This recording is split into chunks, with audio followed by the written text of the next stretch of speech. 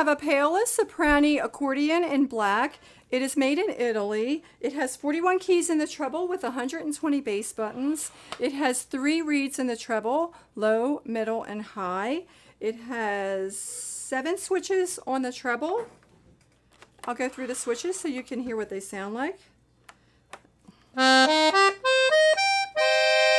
That's your clarinet, piccolo. That's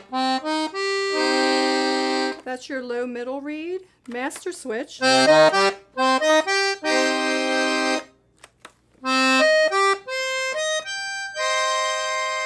Middle and high. Low and middle and and your low and high. On the left hand, we have a toggle switch.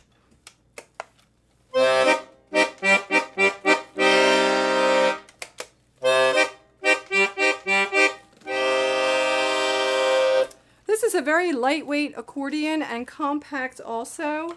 It has a very classic look uh, with a black and white grill and it has a nice red bellows design so when you open it up it looks really nice.